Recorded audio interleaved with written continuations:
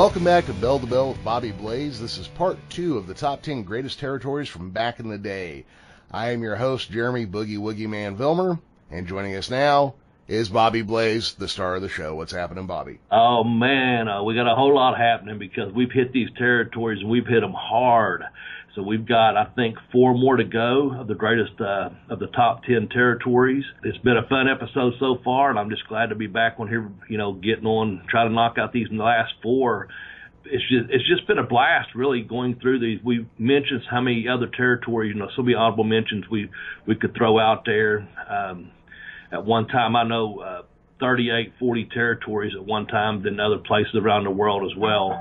But it's, um, yeah, we're down to the last four, man. So, uh, how about if I real briefly just name, uh, 10 through 5 and we'll go from there if that's okay. Sounds like a plan to me, by golly. Hey, all right. Well, we started off, we did give some, like I said, some honorable mentions, just some places, um, like out in the Maritimes and, and some places, um, like, you know, other places in Japan and Puerto Rico and, uh, which go ahead and say it. I know you don't like mentioning that. Well, it's you know it, it's a very specific thing. I don't have anything against Puerto Rican people or the island right. of Puerto Rico. It's it is very specifically. It appeared to have been very corrupt during a murder investigation of uh, Brody, and you know just yes. fuck those guys because they let them just all.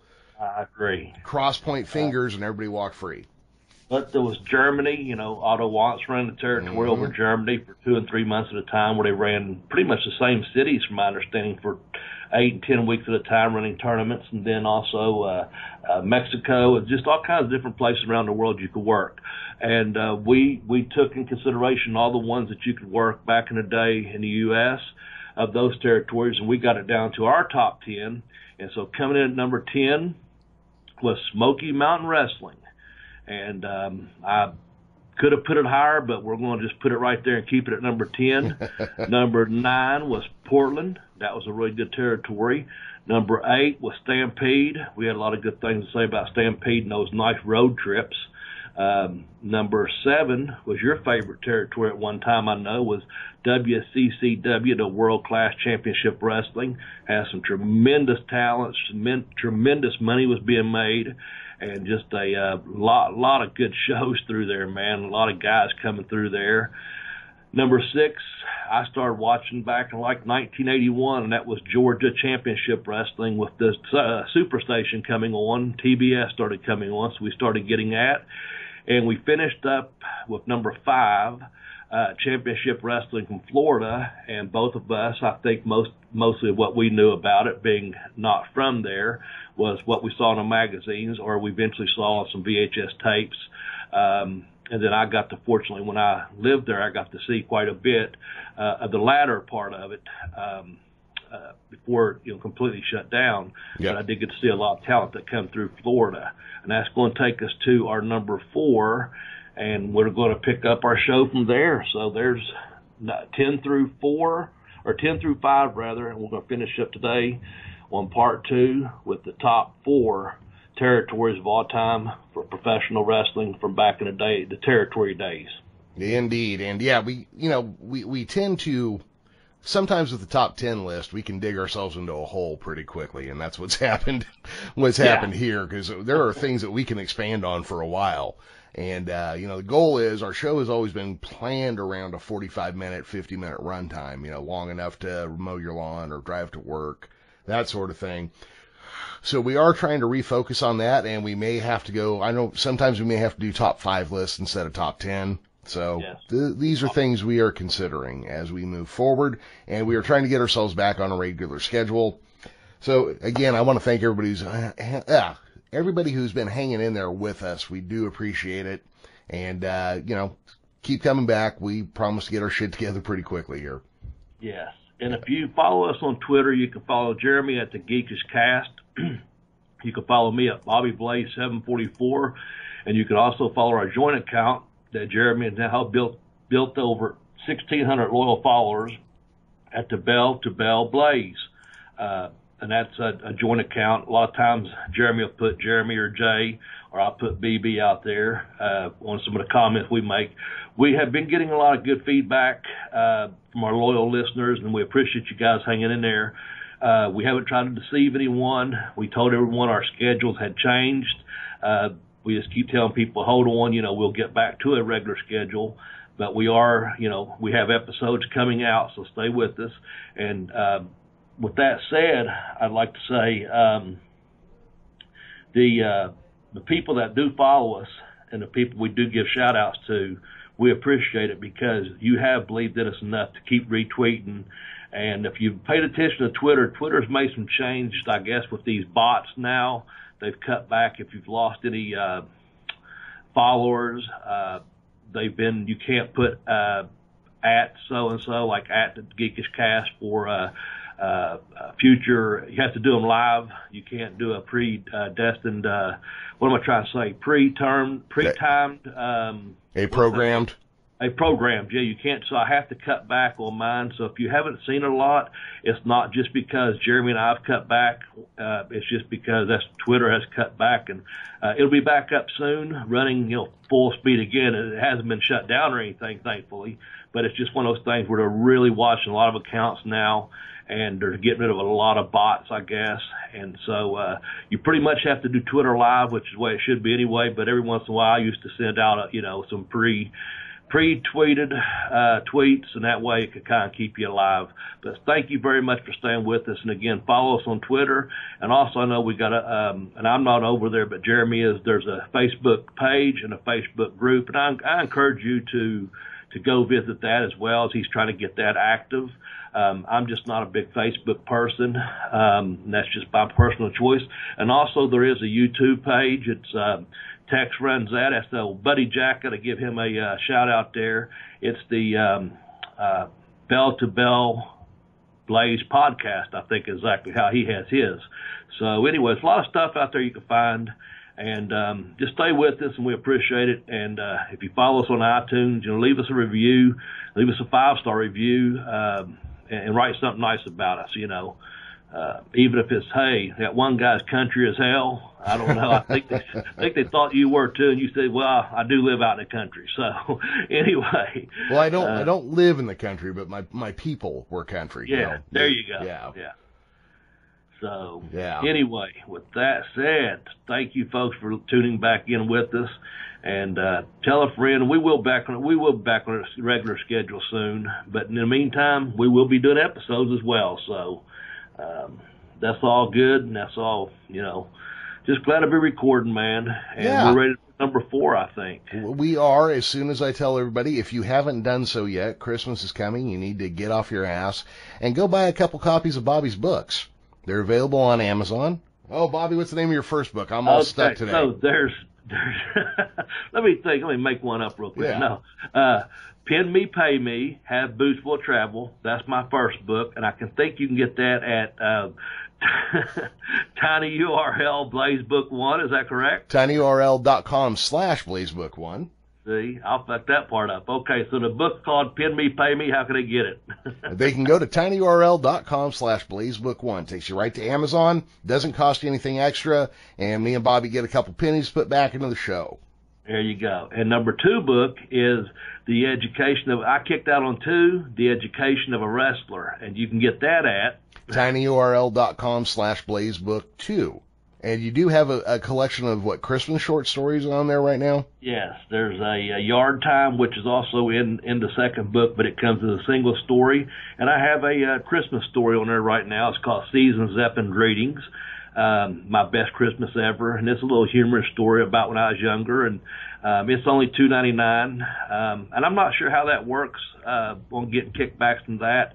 But uh, download the damn thing anyway. But I know in the books, at least Jeremy gets some kickback, and I get some kickback off the books. And uh, and you know, here's the whole thing: it's, it's not a whole lot of money, whether I sell one or whether Jeremy gets some kickback, but it just keeps the show going uh, with our uh, co- with our hosting fees, and it just it serves as great motivation too. That you know, hey man, um, you know, I listened to a guy and I think I'll read his book, and then then he listened to him talk to with his buddy every Saturday or every Sunday or whatever time of the week you listen to the show, and you said, "Man, them, them guys are all right. I'm, you know, I'm, I'm with it, man. I'm glad I went there and went to the tiny URL backslash hash points, dots, you know, whatever, and bought the damn book and helped those guys out because we're pretty good guys. If you ask us, we'll tell you. Exactly, Bobby. I gotta I gotta start worrying about your your use of technology because you're kind of sounding like my great grandparents when they were afraid to miss the TV with the remote because they didn't want to set anything on fire back in the seventies. All right. Oh, yeah, you shit. got to smarten me up, man. That's all there is to it. yeah. Well, and I'm getting to that age where I sound like a buffoon when I try to talk about the interwebs and the Twitters and the tweets and the whatnot. But anyhow, let's get on with this shit, shall we? Yes, we shall get off this shit show. no, it's a great show. It's just that uh, I'm stumbling over my own words, and I'm not even drinking yet. Maybe that's the problem. so, uh, yeah, good shot might do me some good. Might wake But anyway. clear the cobwebs. let's go with number four, okay? And I had it as uh, CWA Memphis, but basically it's just uh, Memphis Pro Wrestling, and of course that come out of Memphis, Tennessee. And I'm, we're talking, and of course there's been a lot of wrestling out of Memphis, Tennessee, but we're mainly talking about the one that we grew up on. Um, that was an NWA affiliate from 1977 through 86, and in 87 I think they became an AWA affiliate. We're talking about Jerry Jarrett and Eddie Marlin, uh, Jerry the King Lawler, Lance Russell, uh, the whole uh, people, the Jackie Fargos, Sputnik LaRose, all those guys that come through that great territory. Uh, when Andy Kaufman came through there at one time, and we're just talking about a one of the last great territories that actually ran, you know, seven nights a week and sometimes twice on Saturdays and Sundays. They had a weekly schedule. They did live TV for over 40 years, if I'm not mistaken. Every Saturday they were live in Memphis, and uh, I think they had 300,000 metropolitan uh, Memphis metropolitan area listeners uh, or watchers, rather TV watchers. Uh, and then it they, from my understanding, you know, they sent the tape around uh, to hear Cornette talk about. I think called bicycled it around where they'd put it on a Greyhound or someone would take it to the next town, the next TV, and they would follow the tape around. So wherever it aired out, um, whether it be Louisville, like they did, um, uh, the schedule was Memphis was on Monday night, Louisville was on Tuesday, Evan, Evansville, Indiana was on Wednesday, uh, Lexington, Kentucky was every third Thursday. There's some other dates, uh, some towns on Thursdays. Friday, I think you were back in um, uh, maybe a spot show. I'm not sure, somewhere close around Memphis to do uh, the uh, Memphis TV taping on a Saturday morning, and then you did Nashville on a Saturday night, and then you had a spot show or two on a Sunday. So you could see they did a lot, a lot of miles, and anyone, as any ev- everyone in wrestling or became someone in wrestling went through the Memphis area at one point or another. It was just a great, great territory, and um, just uh, a whole cast of characters that came through there. Um, star after star, uh, people that had different names, and they come back under a mask. And Lord, they had, you know, this feud after feud, and it was just, uh, you know, you had everything from the first family of professional wrestling, Jimmy Hart, to, uh, you know, Jim Cornette making his, uh, started off as photographer there, and you had, uh, uh, Ricky and Robert, the Gibson brothers, and then eventually you had uh, Ricky uh, Gibson left, um, and they teamed Ricky Morton with Robert Gibson to be formed the Rock and Roll Express. Um, you know, I mean, it's just one story after another, but it was a great territory apparently to work. And uh, from my understanding, I saw a couple paychecks, and uh, you know, I know it didn't pay well as far as what you get per night at, at, at certain times, but at other times, people were making huge money back in the day. And a lot of times where they made the money at was off the gimmick wars, the gimmick tables. And as um, Cornette's got a book called uh, Rags, Papers, and Pins about the merchandising tables of Memphis. And one of the things that was said was about Sputnik Road. I thought it was funny. Uh, the baby faces started leaving the rooms to go up to uh, the concession area, and it said uh, Sputnik Monroe referred to it as they're out there peddling their rags, papers, and pins. So their gimmicks.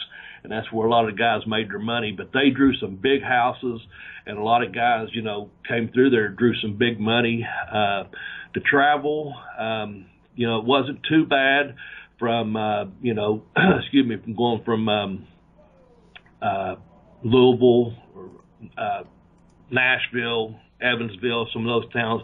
Some of the spot shows may have been out there. I think the hardest thing was being somewhere on a, uh, from my understanding, was being somewhere on a Friday night having to be at that TV taping on that Saturday morning and then hustle over and get to Nashville for a live show that night.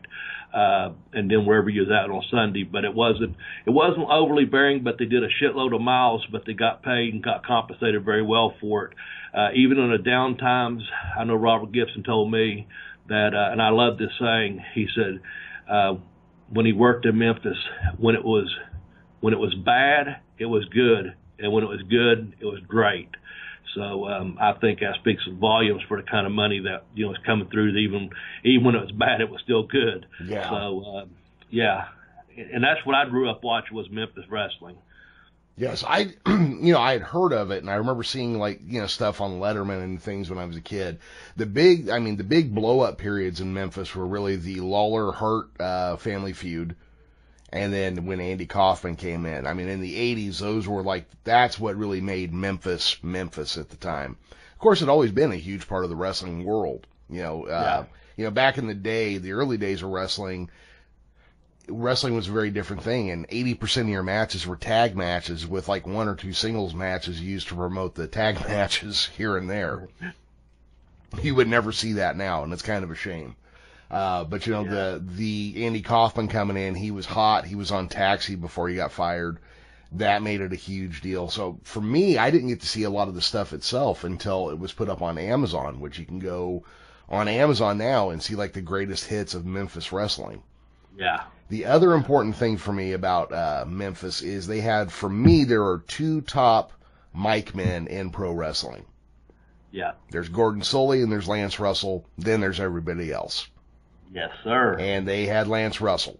Uh, matter of fact, I stole our sign off from Lance Russell. So Yeah, and that's um, the voice of Memphis wrestling. I mean, he had a sidekick Dave Brown in there, and it's one of those things, almost like one of those comedies, uh, the Disney comedies back in the day when, uh, you know. Lance is talking, and what do you say about that, Dave? And Dave would start to say something. No sooner he got two words. That's right, Dave, and, he, and then Lance were right back to calling the, the match again, barely letting him get anything in. But nonetheless, they worked together as a good team. But the voice was Lance Russell, man, and, and he treated it with such respect. We, we talked about that during the uh, the uh, Funk and Lawler match in the empty arena. I mean, he treated it like you know uh, that in the concession stand. You know, everything. He he, it was real. You know, and that's Oh, yeah. the way he presented it, and that's the way it should have been presented, and uh, didn't put up with uh, you know, hey get Eddie Marlin out here, someone, you know, or or whatever. I mean, or get these guys out of here. Someone come here and separate them. He didn't. It was no nonsense. Um, you know, he he really tried to. He he he got it across as an athletic, competitive.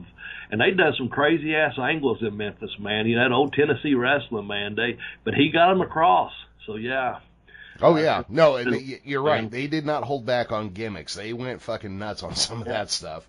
But yeah, more importantly, back in the day, people who treated wrestling like a sport, guys like Lance Russell, Gordon Solie, um, you know, there, there were a handful of guys in the AWA who did it. That made it feel much realer. And now, you know, now they treat it like a cartoon most everywhere you watch it. So it's, you can see a difference in the presentation and how it matters. And even their bumper music when they went to and from commercials in, uh, the CWA yeah, made it feel like you were watching some grand spectacle. Also, I just love studio wrestling. There's something about it that I like the look of. it's it's so it's I I don't know if you could ever go back to that look, um, but I tell you, I'm with you, man. I did not mind one bit when I watched Georgia Championship Wrestling, and you're sitting there watching it from you know wherever uh, CNN Center or uh, if you're watching Memphis and you're downtown there um, at the TV station.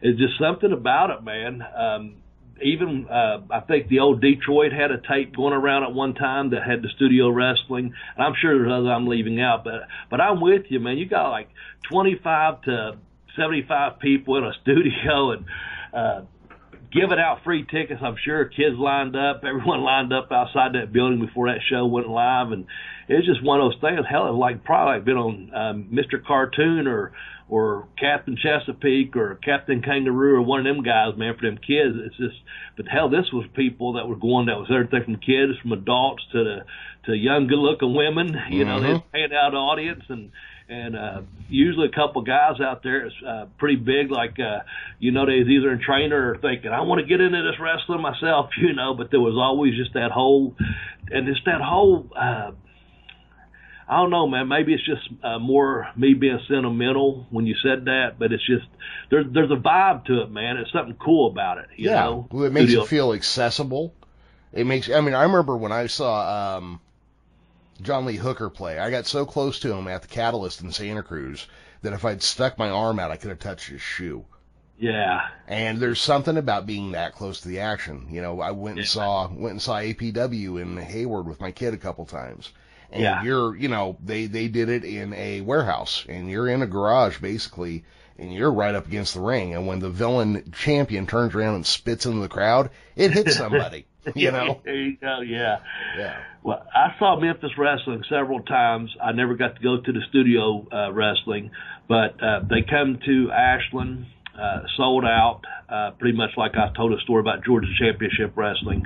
Uh, Ashland and Memphis is, oh man, it's a, it's, well, I want to say eight, nine hours difference, but we did get their TV out of Lexington every Saturday and they came and they sold the place out and it was we were right there on top of it, you know, right there in the crowd, you know, like you're like you're talking about because it's at the National Guard Armory. But then when I was in college, I got to go to several times to uh, the Rupp Arena on Thursday night shows, mm-hmm. and uh, I was about midway up through there. Rupp, Rupp is just huge. I mean, it holds twenty three thousand people for basketball, but um, I know they did really good. They didn't sell it out, of course, uh, but they did real good business in Lexington. Um, and I'd be about, oh, mid arena, mid ring, and you, you're not like right on top of because you don't have like 20 feet back from the ring because you're in a big arena. But the feeling of it was still really good. It was it was still at that point. I uh, used the word earlier, accessible. Maybe uh, you you still felt like you was like right there with you know, the confines of being a professional wrestling show. You wasn't up in, you know, top of fucking some big ass skyscraping building trying to look down and see two little ants down there wrestling. You could actually see, you know, when Jimmy Hart, the San Diego Tick, can come out and wrestled, uh, Jerry Lawler and, uh, uh, Jesse Ventura, uh, was with, uh, I think he was with the, uh, he brought in, um, Ventura was was teaming with uh, Jimmy Hart, and then Lawler had the chicken, or vice versa, however it went. But you know, it's like right there, man, for the event. So uh, just that good, good, good atmosphere, you know. Yeah, absolutely. All right, yeah. let's uh, let's right. go ahead and keep moving here, and let's yep, talk about do. number three, the yeah. American Wrestling Association. Oh yeah. Okay, so um, it was sometime in the '60s when whatever they called it at the time, Verne Gagne's wrestling promotion, decided that Verne Gagne should be champion. yeah. Actually, I, I kind of love the way the story goes, and my head's all foggy this morning, so I can't. Was Buddy Rogers the uh, NWA champion at the time? Am I thinking wrong? I, I, I'm thinking you're thinking right. okay.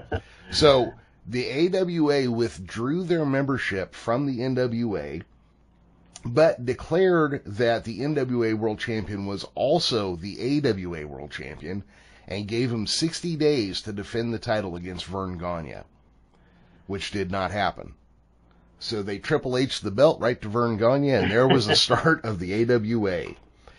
Yeah, and that's what I had. It was uh, founded by Verne Gagne and uh, well, Wally Karbo, mm-hmm. then owned by Verne, and I guess it ran from 1960 to 1991 uh, under the uh, American Wrestling Association, and that was always one of those things when you got the magazines back in the day too, as one of your top three, and and people probably can see where our list is going from here.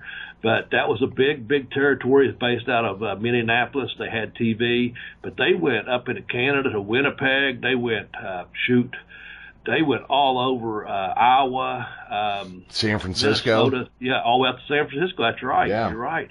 Uh, they they had a, a pretty big, a pretty large territory, and like I said, I think um, I mentioned earlier the um, uh, Memphis got involved with them in like '87 or so when they started doing some things with uh, uh, with Lawler and Mr. Perfect and um, oh, I believe to, someone there, the Visco, some of those guys, but yeah. they they mostly you know um, didn't come down that far into Kentucky, but they they traveled quite a while. I think they went what Indianapolis. They went down eventually down into that area, Chicago. Um, they had some pretty big towns. Oh, they had a they had a pretty good lock on the center of the country.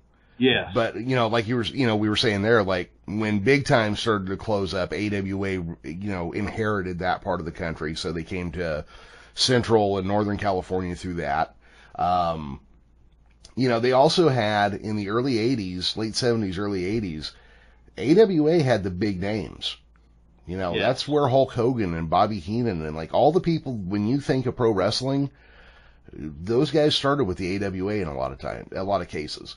Yes. Um, you know, the guys that Vince made big when he started the, you know, when he took it over from his dad and, and started running his direction. A lot of the talent he picked up was from the AWA to the point where what Vince was doing was he was sniping their talent away from the AWA and then running shows in their territories with their talent. Yeah. Yeah. And also, you know, back in the days when um, they needed a wrestler on TV, they went to Nick Bockwinkel in the 60s and early 70s. And he was an AWA fixture. Yeah. And we've talked about him, what a great champion he was, how elegant he was in his interviews, great body, and what a tremendous worker he was. So you couldn't go wrong using Nick Bockwinkel on any show. No, they put. I remember seeing him on the Monkees a few years ago and just being like, "Holy shit, is that a young Nick Bockwinkel?" yeah, I think you reminded me about that. Yeah, That's pretty funny. But yeah, they uh, they had a lot of talent, man, a lot of talent uh, come through there, and you know those. I'm sure. Uh, I don't have a fact for this, and, and people can fact check. I'm sure they had some towns that weren't too far, you know, outside of uh, Minneapolis, but also I'm sure they had some hellacious road trips too, because I heard a, a uh, couple of interviews of some of the guys that would travel uh, back when they were first training. Uh, man, they would travel, you know, four to eight hours every night and have to set the ring up, then wrestle, tear the ring down, and, you know, travel to it, yeah, keep moving. And they did. And so they put some miles out there. As far as money goes, I guess at one point they were all making pretty good money. And I guess at the end there, I come down to Hogan. Uh, one of his deal, final deal breakers was over some T-shirts. I guess Verne and him butted heads over some T-shirt money. It was or wasn't there, or whatever. And that was his final uh, one of the legend or story, you know, one of the final straws of, well, you know, I'll just work for Vince then or whatever, WWF at the time or whatever, because, um, you know, he felt like he should have been getting more money off his t-shirts. And he was probably right. And, um, and maybe Verne, you know, could have kept it around. The other thing was, you know, about the internet, that's, that was the thing. You could bring those guys around if you needed someone, um, they may be an AWA star, but they could have been working on an NWA show and vice versa because of the territory overlap sometime. And you might see a guy that was under a hood and you're thinking, uh, you know, you may or may not know who it was. But um, and then again, you may see a guy working as himself and say, hey, "I just saw that guy working for, you know, the NWA last month," and that may have been the case. He might have filled in for someone and picked up a paycheck because ultimately we all were independent contractors. And I think I told you I saw in uh, January of uh, 85 in Baltimore, um, I saw Sergeant Slaughter working one show for the um, WWF and another show the next month for the uh, NWA. And he wrestled uh, uh, Flair. And I think that was in February of 85. if I'm not mistaken. But that was over the GI Joe type gimmick. I guess he had had some kind of a deal already on his own. Uh, you know, whatever. So here he is working for two, two different companies in the same city a month apart. You know. Oh yeah. Uh, for two different companies. I mean, same city rather. So, um, but yeah, AWA man, that, that was a thing back in. Didn't have the internet. We had them Apter magazines, and you'd have the rankings in the back, you know, always had AWA and then a few more we haven't talked about yet. But um, they always had those, and you would see those guys, you know, fan favorites. They was always mixed up in there. Uh, most hated, you know, managers.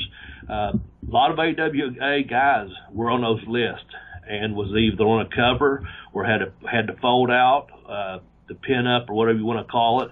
Um, you know, stories about them. It was it was a big big deal at one time. Oh yeah. So, well, they I, I also give them credit. AWA focused on technical wrestling until they couldn't get away with it anymore. Basically, that was really the focus of their shows and style.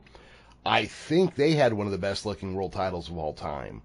It looked like the kind of belt that you would see in a prize competition like boxing or something else. It wasn't trying to be overly flashy or too design heavy. It just looked like something, a prize that people would fight over, you know? And that's the thing, a prize that people would fight over. Yeah. That's what the belt should be and that's something about real quickly um, during the match. You don't see enough guys that keep it competitive like you used to. And I'm not making a knock on today's product. I'm just saying when guys would wrestle earlier on, you was talking about how they were still competitive and, and did it as long as they could as far as the wrestling until they had to go in a little bit different direction. They were still keeping competitive. Guys were going for pins. You know, they yeah. were going to or submissions uh, before the guy got to the rope and stuff because the competition was if you win, you win more money, or you move up the card to get a chance at that belt. And I know I'm telling just an elementary story, but that's the way it should be because if it's competitive, why would you want to just get beat every week or not have com- uh, competitive matches every week? And why would you not want to have a chance for a title shot? And why would you not want to have a belt that looks like hey, I want to win that, you know. Yeah, exactly. So uh, that that I don't know. Sometimes it's just so simple. It's elementary, like I said, but we tend to forget that sometimes, and um, people get away from that. And um, I like to spend in my the suspension of my disbelief or of my belief that hey man they're really trying to pin each other they're really trying to make each other submit and they're really trying to win that title because if you win that title you're going to win more money or earn more money if you will so yeah, props to the AWA man. I think that's a great number three. Me too. Well, let's go on to number two. Yes. All right. We were talking about the Worldwide Wrestling Federation, the World Wrestling Federation, World Wrestling Entertainment, uh, the last man standing for many, many years in pro wrestling. Yep. Uh, and I had it written down that way too. I had it all, all of those initials spelled out like that. I guess, and I had Capital Sports and uh, just the whole, yeah, the last man standing for almost 20 years, yeah. right? Until until just the last couple of years, really, they they went through a thing, and but I'm not going to sit here and shit on the product. No. We, we you don't last that long um, in a you know doing something that they've changed the, the wording, they changed the title, they they do this, they do it, they do a more cartoonish type style than what I like. But the bottom line is is it's the largest wrestling company in in in the world, you know, and um, they have their own network. They do. Good Lord, how many stars? And I'm not just talking about there. There are wrestlers that come through there that were just wrestlers that all of a sudden became superstars and also crossed over and are still crossing over to mainstream and oh, yeah. TV and movies and magazines and well you know and, Edge uh, Edge is on that TV show Vikings now. Yeah, I think you told me that. Yeah, I was not aware yeah. of that. You told the, me. Yeah. The Rock might be one of the biggest action heroes of all time. Uh, he he probably will end up being. Yeah. Uh, if he doesn't decide to run for president. Uh, I don't think he will in 2020, but um, 2024 maybe. You know, I don't know if he's done making his movies yet, but I'm telling you what, that's that's the rumors. I don't know if he will or not, but man, right now he is the most popular, you know, action hero, biggest movie star out there right now. And he may be bigger than all of them in the end. Who knows? Yeah. But um, man, that company and they packed them in, you know, all through all through the ages. I mean, I know they had their ups and downs as far as you know, um, you know, big shows, little shows, whatever, but it they were always not every show was a sellout, but even when they ran, you know, just little house shows, hell, they had three teams going out on the road, A, B, and C teams. Yeah. So they might be in three different towns, and one town may have been a sellout, the other one may have been, you know, uh, two thirds filled, and the other one may have been at a high school gym somewhere, you know, of 200 people, but they were still running. And the thing about this, I was just reading this the other day. This this just actually came up during something I was looking up. Um, and it was about the WWE, and it really had nothing to do with it. it had something to do more with what you was talking about last week about um, the, the wrestling people associate automatically go to WWE. Yes. Put you know instead of separate the two. But one thing I was reading, I can't think of what I honestly I was reading an article. It was just something I was reading, opened up on Twitter. It was non wrestling related, but it threw a reference out there and it said it talked about how many uh, jobs Vince McMahon created um, because of his wrestling company. Is pretty much what it said, and I thought that's kind of neat because you got to think about that. He's put uh, people to work, not just the professional wrestlers. And I'm glad because I've always said those people that make it out there you see on TV, I'm not going to be the armchair quarterback and watch it on Monday and shit it on Tuesday or whatever. I'm just, you know, I just, if I want to watch a match, I will. If I don't, I won't. But uh, the bottom line is he's got all the wrestlers that he has, at least all those guys that are wanting to be wrestlers and have a chance to be wrestlers uh, they've got jobs, and that's great. And that's not counting though the TV people that want to be in TV that he's helping, uh, writers, you know, uh, creative writers, creative writing teams, sound guys, network, lighting guys. That's just, where I was going with yeah. exactly the whole production thing. And not only that, um, the, the the other thing was, and again, this article really didn't have anything to do with wrestling. I think it was more. I hate. I'm going to go ahead and use the word because it's not with it. It was an entertainment article, but what it was talking about is when they come to town, all those uh, the arenas. You know that that gives that town another event for that month and you've got all your concession workers to uh, you know concession stand workers to to the um, uh, local um, uh, fuck uh, well, just say maintenance. You know the word. Yeah, maintenance, maintenance, janitorial, security. The, uh, I mean, everything. The unions, the local unions. I'm yep. sorry, that's why I was trying to spit out oh, the local sorry, union yeah. guys. Yeah, I was trying to get. You got those guys that come out that do the lighting and the um, and all that stuff. So it brings work to that town for that one or two days. And hell, during a mania, I guess they're in town for all week or so, maybe ten days. I don't even know how long they're in town for. I just know they they have so many damn events around it but anyway, it brings money to the community or to that city, and um, that that's a damn good thing right there too. So that's another reason. Um, it's not why we don't have them at number one. It's just because we'll have other reasons we get there. But as you said, WWF WWF and WWE uh, deservingly to be number two position very easily. Could have been number one, but we this is our list and we're doing our personal favorites. But hell, they uh, you know from WrestleMania to Survivor Series to to fucking uh, doing you know monthly pay per views to now doing a network uh, that, that you don't have to even pay for a damn pay per view. You can just get it.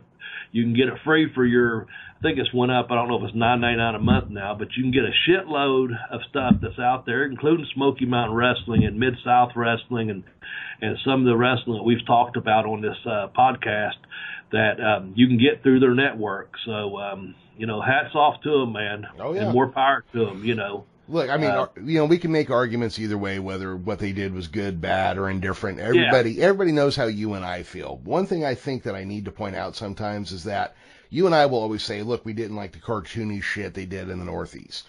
But you know who did like it? The people in the Northeast.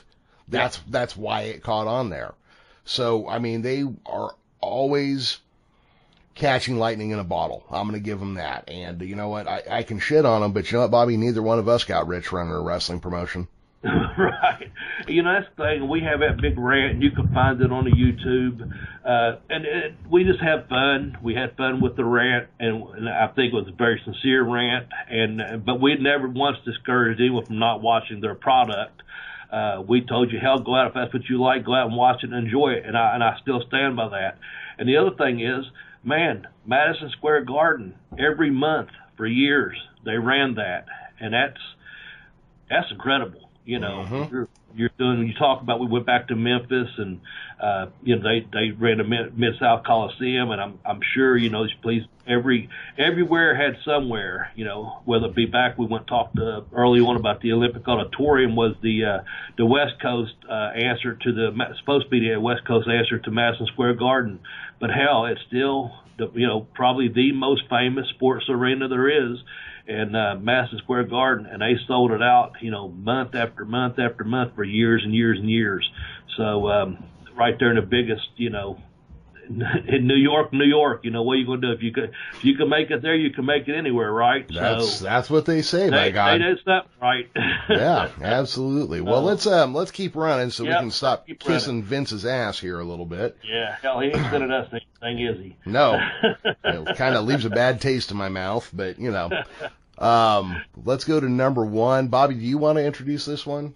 Sure, I'll introduce it. I want to introduce it as, as JCP, uh, Jim Crockett Promotions slash NWA, if that's okay, um, because it was Jim Crockett Promotions and they were a member of the NWA and they were based out of Charlotte, North Carolina, and that's why we're coming from Greensboro, North Carolina, home of Starcade, the very first, the granddaddy, the supercard uh, of all supercards back in the day. Well, that back in 1983, I think. So um, yeah, we selected Jim, promo- Jim Crockett Promotions uh, slash NWA territory there um, as our number one greatest territory to work for, and I think it had a combination to do with several things. Uh, Jeremy will give you some of his, but mine was just the stories I've heard and, and seen the the wrestling shows that I got to watch once the NWA started coming to my area uh, within a two-hour driving distance of Columbus, Ohio, a half an hour to uh, uh, Huntington, West Virginia, an hour to uh, Charleston, West Virginia, and I started seeing all these guys that I'd seen on TV, and they started getting when NWA, when the Horsemen got hot, and just that whole time period for me, man, it's just uh, from way back when, back in I think it was uh, uh, 19 if I'm not mistaken, 1935. Um, something I read uh, from uh, uh, Tim Hornbaker, uh, his book. He's got a new book out now. Uh, this this was from an older book of his, uh, but it was about um, that Jimmy Crockett uh, basically became a millionaire just working out of his home. Then he eventually started working out of uh, uh, different restaurants, you know, yep. until he finally got a little studio and he always kept his, or a little uh, office, and he always kept his costs down. But man, the talent they had there, um, and uh, while I mentioned, I guess uh, Tim Hornbaker, Tim Hornbaker's got that a new book called uh, "The Death of the Territories." Just want to drop that out there. So if you want to check that out, um, it's on my wish list. I haven't gotten it yet, but I, I've heard nothing but great things about it. So that can be our book of the week also. Oh, I go. just got that off the Mid Atlantic Gateway Archives. Uh, just an article he had written about how he started off.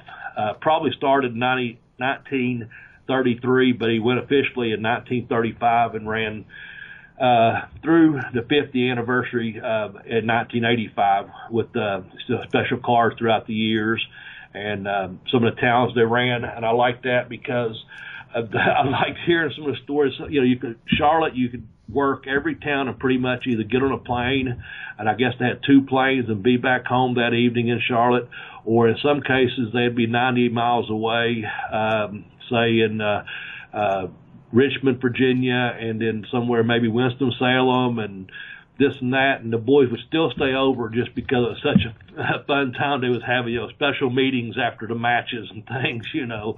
Uh, I'm sure at certain hotels and and uh, motels and uh, just. Uh, and the, the talent though, man, and the TV product that when you got to watch, when you watched, you know, the we got a got kind of got a double shot of them there when when the guys got to work both for Georgia championship and for the when that show came on, and also when the um, uh, Jim Crockett uh, NWA show came on, and you got to see some of these great, great stars. Man, it was just uh, it was just something special um, because, as you mentioned earlier, the cartoon wrestling. Um, and that's not a dig towards anyone in the Northeast that, that liked it, that caught on up there. And like that, what you mentioned with the AWA, the NWA was right there with trying to keep it as competitive as possible as long as they could. And could get a lot away with it. And um, the angles was were were all very believable. Um, and a a lot of them seemed real personable, you know, personal rather, and and that that adds to the the believability of it. as we've talked about. So um, that that got my vote as the number one territory to work for. Uh, I know the guys were making money hand over fist at one time, uh, you know, working for them, and then uh, we also know all through there, just from the seeing the TV, whether you watch TV, you got the magazines, whether you went to the arenas, if they come to your area, um, man, those guys just uh, top of the line talent up and down a, up and down a card, up and down a card, nothing but talent. Oh yeah. So well, that was my reasoning. Yeah, well, JCP, um, you know, Jim Crockett, like you were saying, he used to run wrestling plays, concerts, you know, Yeah. just he he promoted everything. So he was a guy who was trying to run all over the place. Um, you know what? They owned a minor league team, I believe. I was going a baseball team, yes. Yeah. And so it stayed as a family business up until about the end of the 80s, uh, when they couldn't compete because it, they just, they took on too much. They, they had too much out in play for a small family business to try to run. Um, uh, that's as I understand it. But Yeah. you got to look at the guys that were there. you know, like you were saying, the Horseman, Dusty. I mean, just like all the names that came through there. They also came in at a perfect time. Vince McMahon had just shit the bed on TBS. And, uh, Ted Turner was looking to get some real Southern wrestling back on the show. And here's this guy who's kind of slowly gobbling up little territories in the South, but not just the South. He bought a minority share in, uh, the Tunney family business up in Canada. Yeah. So, you know, there were just all these little pieces, you know, when, when, uh, Cowboy Bill Watts was kind of losing his ass with the UWF, you know, they took that in. So they just kept building this bigger empire of pro wrestling. And like you were also saying, you could see these guys like anywhere in that territory, you know, Saturday they might be in Florida and by Tuesday they're in Minneapolis, Yeah. you know, and they've worked, you know, eight days, eight dates in between as well. Yeah, and that's what I, I from what, excuse me, from what I heard, you know, in the seventies through the mid eighties, you know, they would be doing your, um, excuse me, you know, your Greenville, South Carolinas, your High Point, North Carolina for your TVs. You'd be doing, you know, your Rock Hill, uh, South Carolina, right below Charlotte. Then of course you had your bigger towns of Richmond and and uh, Norfolk and uh, over Virginia, and then the other shows down in the Carolinas. And eventually, what happened? I guess they started to expand. Uh, I know what once, as I mentioned, and I'm just just kind of skimming over some of it. You know, they went to different parts of Tennessee. Uh, they went, which I'm not near any part of Tennessee, even though Ken- Kentucky does connect, but they went to parts of West Virginia. We connect uh, where I'm at with West Virginia and Ohio. They went to West Virginia, as I mentioned, uh, Cincinnati, Dayton, Ohio, which I mentioned.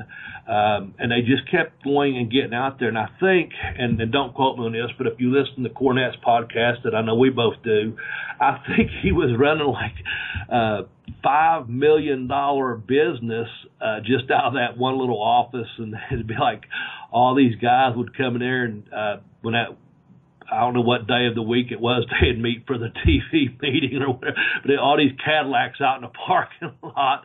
Uh, and it's just, hey, you know, all this money would be coming through there and it's just a little office with, uh, like two people and, uh, two secretaries and a couple cameramen, then all the boys coming and going and shooting their promos, you know, and it was just, uh, uh, they really had outgrown that and then eventually, I guess you know, of course, they they bought a, a couple of airplanes and, to make it so they could make some of these towns and still still be back and ex, expand and still be back, if you will. But also, I guess from everything I heard, and I again, it's just you can read it. I'm not telling any big secrets, talking out of school or anything. When they started trying to go past, you know, Chicago and start heading out to California, you know, they had always done good, from my understanding, in, you know, obviously the Carolinas, Virginia. They had uh, Philadelphia and Baltimore um, up east. That was about as far up east as they went. They did, you know, drift up into Ohio and through West Virginia. So those loops all kind of made sense.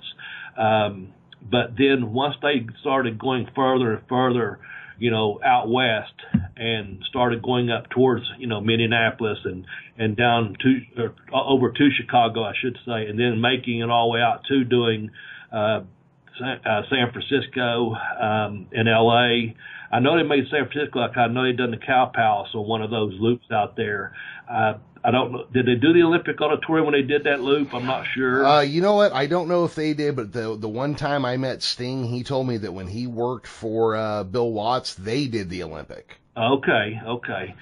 So, uh, but anyway, they just kept expanding so far. I guess it just got too much. You know, it got they they had outgrown that little office, and uh, that much money coming in, and then also with uh, eventually with uh, everything that that end up happening. I mean, we're not reinventing the wheel or giving away any secrets or spoiler alerts. We all know what eventually happens. You know, it just uh, talent left, talent came, talent left, talent came till finally it was time. I guess in '88, Ted Turner uh, bought it o- bought over the NWA, um, bought Crockett out, and uh, changed it to World Championship Wrestling, and um, then of course Vince, and then that's that. We know that. So uh, I don't want to I don't want to end it on just that that note, but we know you know eventually what happened. But man, for uh, for me, and and we agreed on this was just that was just one of the greatest territories or greatest places to work of all time. It would seem like because you notice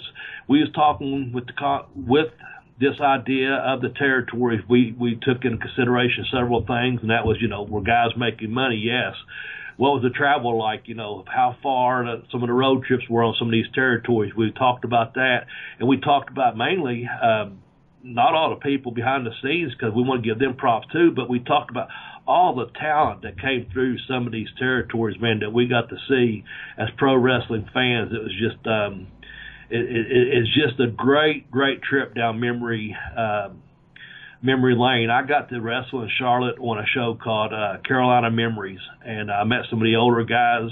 Uh, they did a little uh, Hall of Fame induction for them.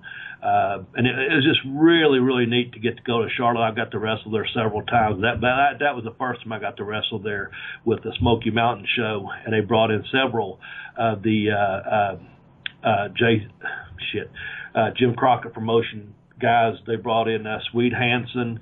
Uh, I, I first met I met Magnum TA as a matter of fact at that point. Um, uh, he was there at that show being honored.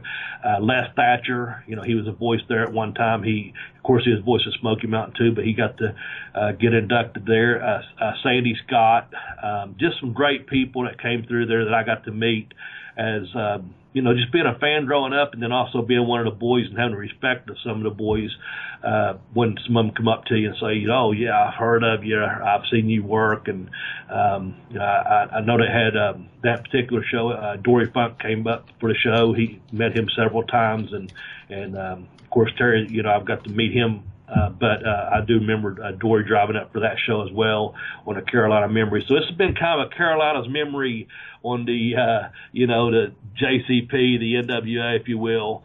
Uh, but man, that, that national expansion of it, and when it went on TV and you got to watch it in syndication or whatever, however you watched it, man, whether you watched the first Starcade, uh, you know, a few years earlier, I'm sure you read about it in the magazines, and mm-hmm. you saw saw still shots of it on the uh, uh, uh, show the following week and stuff, man. Um, but yeah, once it went to Turner Broadcasting, you got to see it even more. So yeah, it's just a great territory, and that's why it was number one for our uh, Bell to Bell Bobby Blaze podcast. so I'll let you finish up, Jeremy. Well, I, am getting a smile on my face talking about it, man. Too many good memories. Oh yeah, absolutely. Um, honestly, one of the things that I thought was cool when I first discovered, you know, wrestling on TBS was so you'd watch a show and there'd be these guys like one guy'd come in and he was the national champion and another guy would show up and he was the U.S. champion. And there were all these titles that gave it a sense of like this shit is huge. You know, these guys are coming from everywhere and representing all these different championships. I mean, you didn't realize when you were young that it was because of you know uh, consolidation that they bought a company that had these titles, but it it made it made everything feel bigger. And then you'd hear these bits about, oh, you know, Ric Flair lost the title in Japan or whoever. You know what I mean? It's yeah. not important. I'm not actually referencing something that happened. But, you know, you have guys going to Japan and all over the world and all these things. It just gave wrestling a sense of grandeur that it didn't really have anywhere else. Yeah. You know, um, I, I I was a big fan as soon as I discovered it, uh, and also I liked the style more that they had. It, it was Yeah. it was technical wrestling, but it was also just southern fucking haymaker throwing brawling. Yeah. Um, you know, you go back and you watch uh, Tully and Arn beat the shit out of the rock and roll in that match, and Oh, it's it's just man. hard to watch. You know, you're just like, oh, these guys are killing them. What the? That and also the other, I'll tell you another one. To see the Road Warriors coming in and just whip, whip the shit out of the Midnight Express.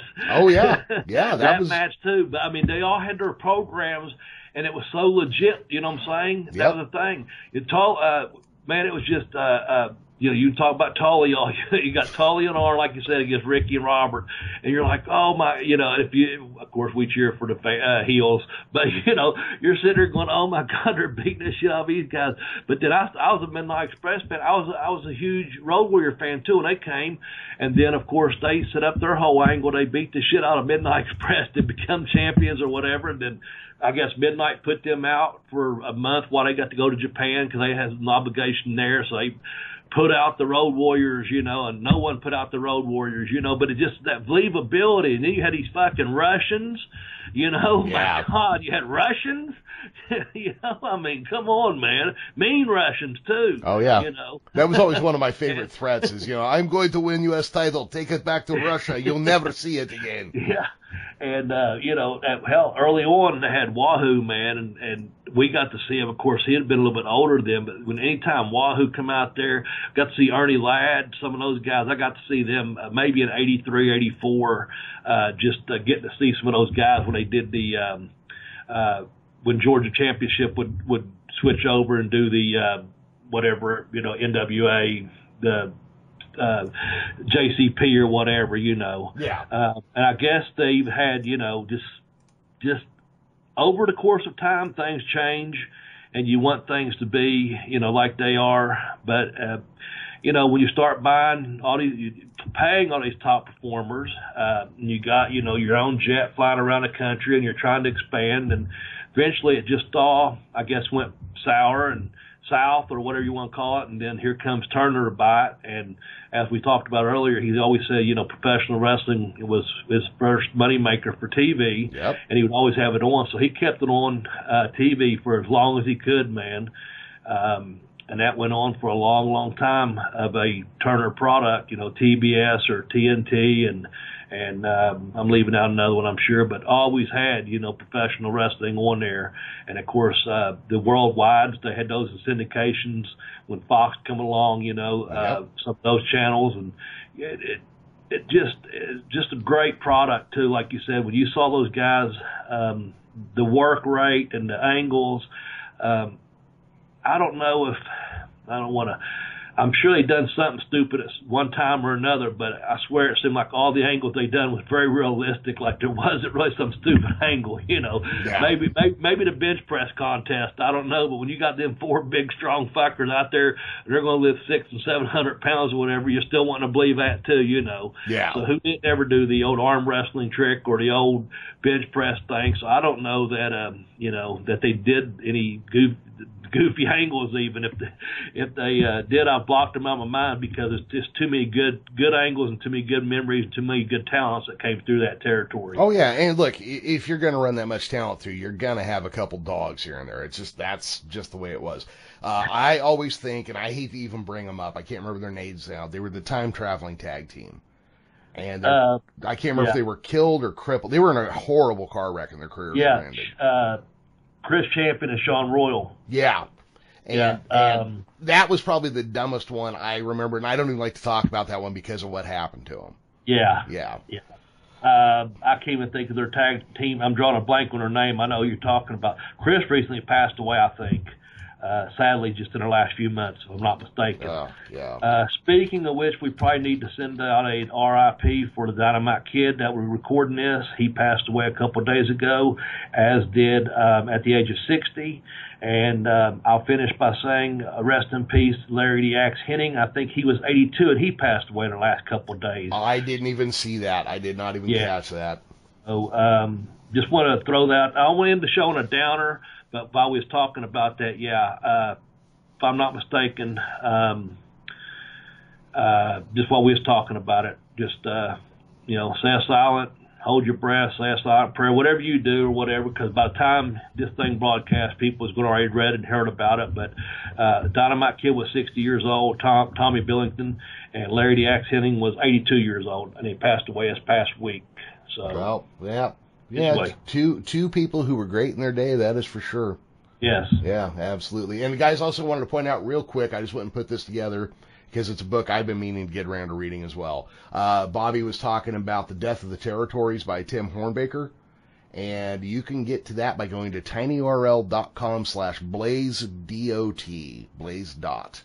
And that will take you to The Death of the Territories. And uh, if you buy it, we'll get a little kickback and we'll keep the show going. Um, and I was hoping he was going to do that. I, I threw that out there yeah. a couple of times, thinking there's another opportunity because we've got the Dusty book out there, and now we've got the uh, Tim Hornbaker book out there. And go to the tiny URLs. I'll let Jeremy give it out there again because I screw him up. But go to him so he does get a little bit kickback out of this, and that just keeps our show going. And we do so kindly appreciate it. Um, this show should be up pretty soon. Um, I don't know when and uh, our schedules have changed. I want to say to you, uh, season's fucking greetings. That's right. We are at the time of year when Lord Odin gets the elves and dwarves in the middle of the earth to start creating toys for all the children. He rides around on his eight-legged horse and hides them in children's wooden shoes. if if I'm not mistaken. You're correct. Okay, yeah. okay. Yeah. Well, with that being said, uh, everybody, yeah. thank you for listening. Our, our plan is for, I believe it's going to be either a Saturday or Sunday night release going forward.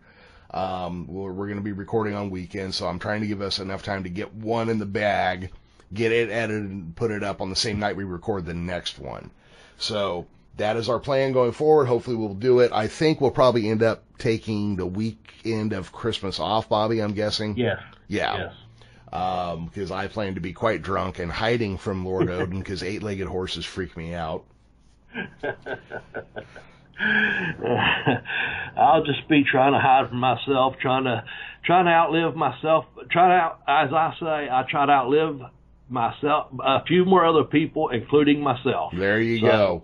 I don't know um, if you guys ever watched the uh, the show Are You Being Served on uh it played here on PBS, but it was an English show. Terribly has not aged well. Terribly racist when you go watch it now.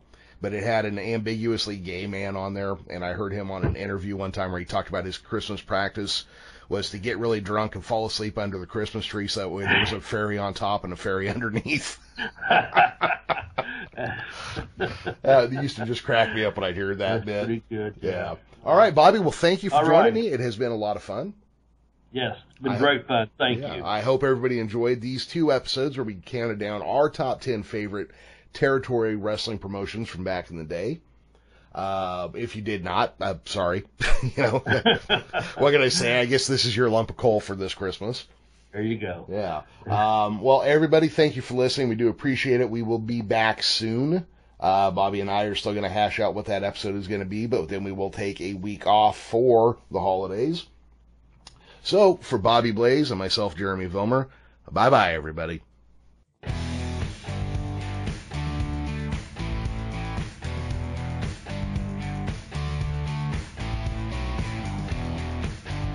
Thanks for listening to Bell to Bell with Bobby Blaze. You can follow the show on Twitter at Bell to Bell Blaze. You can also follow Bobby on Twitter at BobbyBlaze744 and Jeremy on Twitter at The Geekish Cast. To purchase one of Bobby's books, you can visit tinyurl.com slash blazebook1 to purchase Pin Me Pay Me, Have Boots Will Travel. And you can visit tinyurl.com slash blazebook2 to get I Kicked Out on 2, The Education of a Wrestler. To donate to the show's podcast hosting fees, you can visit gofundme.com slash bell to bell podcast hosting fees.